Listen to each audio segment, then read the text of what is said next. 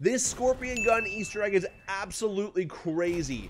This gun can be found first mission before you take over this first fob base. Head over here to the right side of this wall, grapple on top, head all the way over to the last anti-air cannon, hop on the rightmost cannon on that one, and then look down, and you will see that you can pick up an invisible weapon. That invisible weapon is the Scorpion tank weapon, so this thing is insane. Unlimited rounds, you can use it for the entire campaign, and I believe LASO and Legendary runs just got that much easier. You're welcome.